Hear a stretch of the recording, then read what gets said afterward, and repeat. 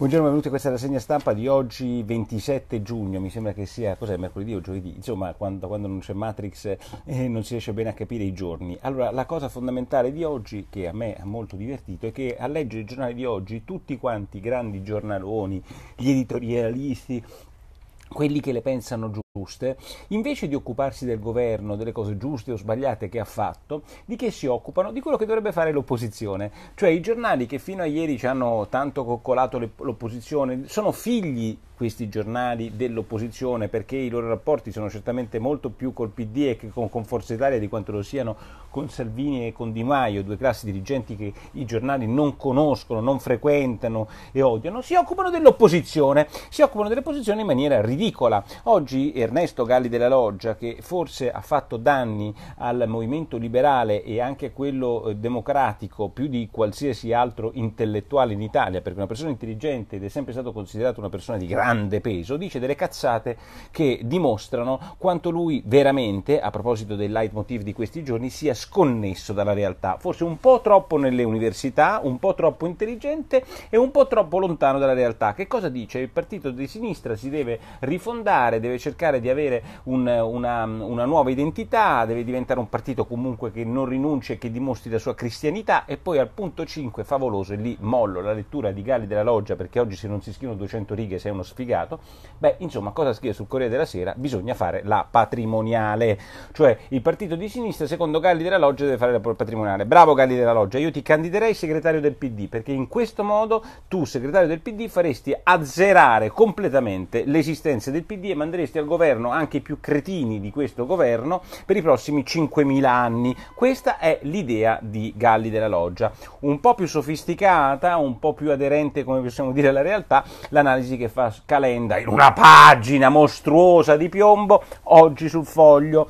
Anche qui l'Italia è caduta in un incrocio tra sovranismo e fuga dalla realtà. La parola chiave è fuga dalla realtà per Galli della Loggia, eh, che dice eh, che siamo lontani dalla realtà, e per Calenda. Solo loro conoscono la realtà. Alleanza Repubblicana propone eh, Calenda. Anche in quel caso Calenda mi sembra un po' troppo pariolino, se mi posso permettere, un po' troppo abituato a essere, eh, come possiamo dire, coccolato all'Aniene o al Parioli, che eh, ragionare su quello che vuole la gente, ma quando lui parla di fuga dalla realtà, il 90% delle persone reali, carne viva, che vive, che gioca, che eh, beve, che va in macchina, che è arrabbiata e che è contenta e che ha le sue soddisfazioni, caro Calenda, cioè la realtà, è che questo governo, nel segnale che sta dando sull'immigrazione, piace molto più di quello di cui hai fatto parte tu, nonostante la buona realtà dei messaggi che tu hai dato da Ministro dello Sviluppo Economico. Se questa roba qua non ti entra nella capoccina, Calenda, il partito sarà uguale a quello di Galli della Loggia del 3, 4, 5, 6%, perché oggi il pezzo migliore sulla sinistra lo scrive Ricolfi in cui dice troppo tardi per salvare questa sinistra, è andata, è persa, è fuori dalla realtà, come lo è Calenda, come lo è Galli della Loggia e secondo me, a mio modesto avviso, come non lo è Ricolfi che da dieci anni sta spiegando che la sicurezza non è un tema del cavolo, ma è un tema forte, non è il problema del sovranismo, è le risposte che il sovranismo dà a delle esigenze vere.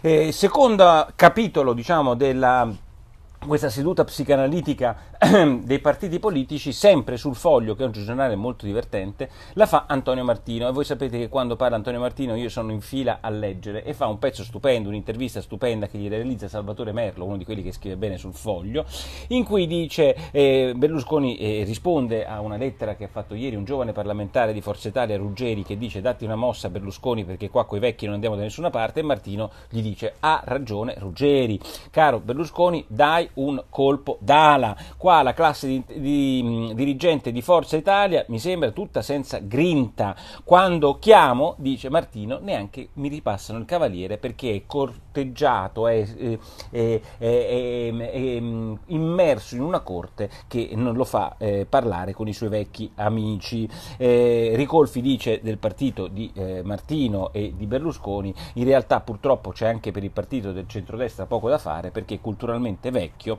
eh, senza guida e, e, senza una possibilità di rimedio. Eh, questo non lo crede Martino perché dice che Berlusconi può dare un colpo d'ala, non lo so se questo può avvenire, ormai mi sembra anche a me un po' tardi, ma insomma i temi fondamentali della giornata sono eh, diciamo quelli inesistenti delle opposizioni, mentre mi sembra molto più debole l'opposizione sui temi esistenti, cioè su cosa sta facendo il governo. Bene sull'immigrazione, ci sono pochi diavoli, pochi cavoli, oggi Fubini, ma con lui tutti quelli che dicevano che Salvini aveva detto una cazzata sull'immigrazione, i, i, col, eh, i poveracci che non venivano saltati dal mare, oggi eh, eh, Fubini scrive che il prossimo vertice di Bruxelles con i 28 paesi dell'Europa non viene fatto sulle stronzate solite con cui vengono fatti i vertici di Bruxelles. Ma sapete per che cosa? Per il tema immigrazione, voi direte il solito vertice di Bruxelles. Ma sapete qual è il problema, sostiene Fubini? Che il vertice di Bruxelles deve salvare la Merkel. E sapete perché deve salvare la Merkel? Perché all'interno dell'alleanza di governo c'è anche la CSU,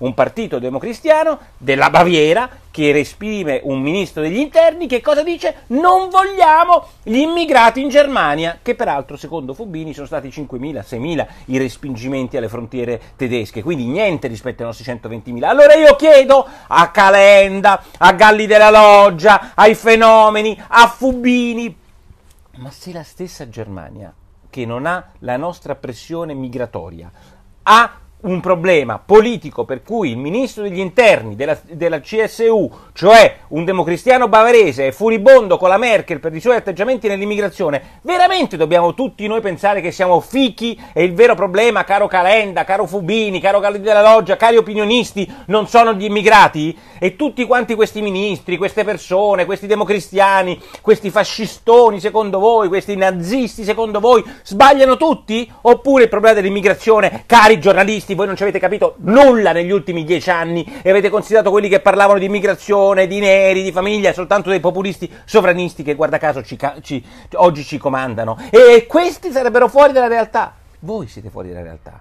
Voi, voi burocrati europei, voi giornalisti che non avete colto, voi trasmissioni che facevate le fichette come se l'immigrazione non ci fosse, questa roba c'è, fuori dalla realtà sono quelli che si facevano le pippe quelli che stavano fuori, a immaginare che l'immigrazione non fosse un problema, a immaginare fuoco a mare, a immaginare che la sindaca di Lampedusa venisse portata a, a, da Obama, a fare tutte quelle pippe buoniste per cui ci avete rotto le balle per vent'anni e adesso vi beccate Salvini, chiaro? E se non ci fosse Salvini ci sarebbe il ministro degli interni della, della, della democrazia cristiana bavarese, che stiamo parlando di un signore che certo non può defi- essere definito un razzista. Vabbè. E ieri c'è stata l'incontro, la cena segreta tra Macron e, e, e, Conte. E l'altra cosa che mi fa impazzire del giornalismo italiano: titoli dei giornali, cena segreta tra Macron e Conte. Porca puttana! Ma se sulle prime ce- eh, pagine dei giornali, cosa ha di segreto questa cena? È telefonata, ci hanno detto, oh guarda che oggi Conte si è vinto. Casalino avrà chiamato i giornalisti, guarda che c'è stato un incontro segreto tra Macron e Conte, perché qual è il messaggio che si vuole dare? Il messaggio che si vuole dare è che il Premier Conte sta trattando in Europa, non è isolato in Europa, è il classico, ma voglio dire, mentre i giornali fanno i fenomeni contro questo governo, eccetera, dall'altra vengono, eh, come possiamo dire, portati con le brigliette così, da Casalino e dagli uffici stampa, che gli fanno titolare, guarda che si è visto con Macron, non lo dire perché è una cena segreta, e noi ci titoliamo, prime pagine dei giornali, c'era segreta. Ma segreta da che? Ci sono in retroscena che dicono pure quello che si sono detti, questi due, si sono visti. La cena c'è stata, segreta no. Va bene? E qua dà l'idea, no? Così Conte prende una posizione diversa rispetto a quella di Salvini. Tutte minchiate, tutte minchiate.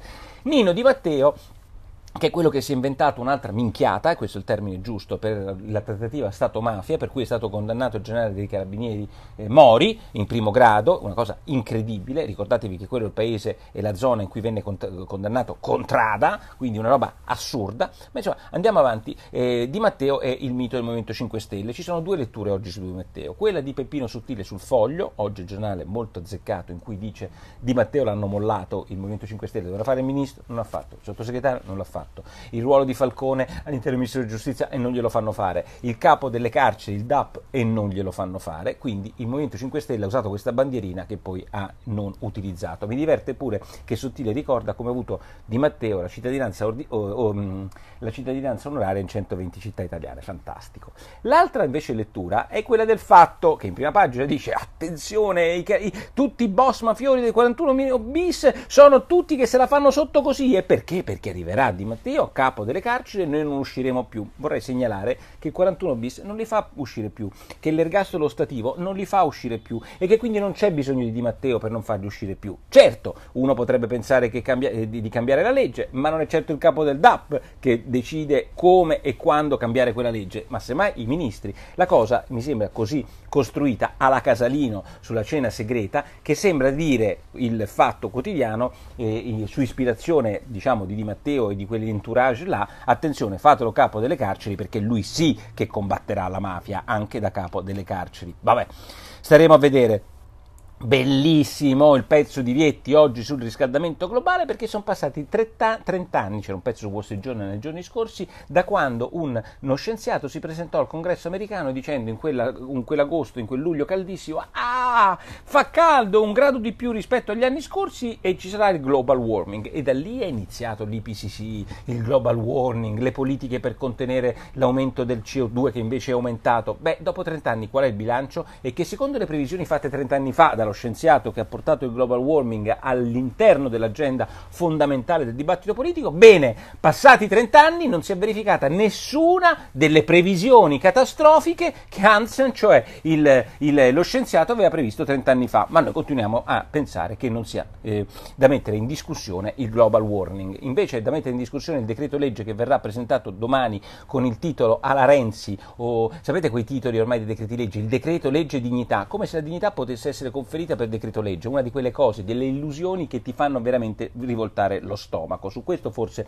una, ehm, un'opposizione seria potrebbe fare l'opposizione, ma lo puoi chiamare dignità un decreto, ma il problema è che l'opposizione aveva chiamato i suoi decreti, sia quelli di destra sia quelli di sinistra, con titoli altrettanto altisonanti che non si sono mai verificati. E ricordate, quando date un titolo a un decreto così alto e poi non si ottengono quei risultati che si vogliono ottenere, ovviamente ci si sputtana, cosa che ovviamente avverrà con questo inutile decreto legge che cosa cosa fa? Rende più difficili i contratti a tempo, fa delle multe alle imprese che delocalizzano che non verranno mai multate, ci metto le mani sul fuoco e poi ci sarà... Ehm, un rinvio della fatturazione elettronica per i benzinai e tante altre cosette. Diciamo che è un mix di semplificazioni e di giustizialismo finanziario e fiscale. Il senso che questo potrà dare una svolta all'economia è pari a zero. Ti può più o meno piacere, però la cosa certa è che anzi ridurre i contratti a termine e pensare di mettere nuove norme burocratiche per stabilizzare persone che le aziende se non le vogliono stabilizzare non c'è legge che gliele farà stabilizzare è una follia. Nel frattempo, dai miei amici della Confartigianato di Maio si è eh, speso per l'introduzione dei dazi anche in Italia per la difesa del Made in Italy e andiamo bene. La cosa più cagasa, la cagata più grossa di Trump, cioè i dazi, Adesso ce li vogliamo portare anche in Italia, che ovviamente non li può fare perché facendo fino a prova contraria parte dell'Unione Europea i dazi da solo non li può mettere. Noi ci vediamo domani con la zuppa di porro, vi faccio, leggetevi il pezzo straordinario che mi ha mandato un finanziere sul sito nicolaporro.it sull'evasione fiscale che è in questo momento online e vi do appuntamento come sempre appunto domani, condividete se vi piace. Ciao!